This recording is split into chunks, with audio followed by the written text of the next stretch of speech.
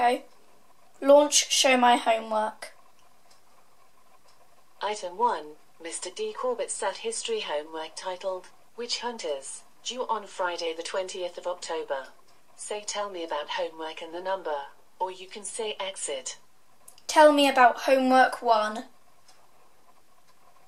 Homework item 1 has the description.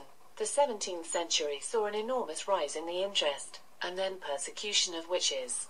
So I thought it would make an ideal homework in the lead up to the October half term and Halloween.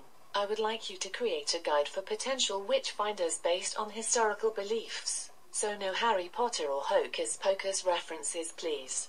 The guide should be in the form of a leaflet, ideally A5.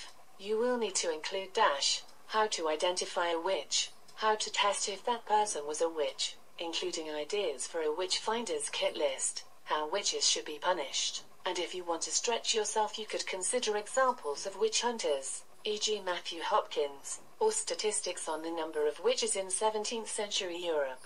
To hear another item say tell me about homework and the item number or, you can say exit. Exit.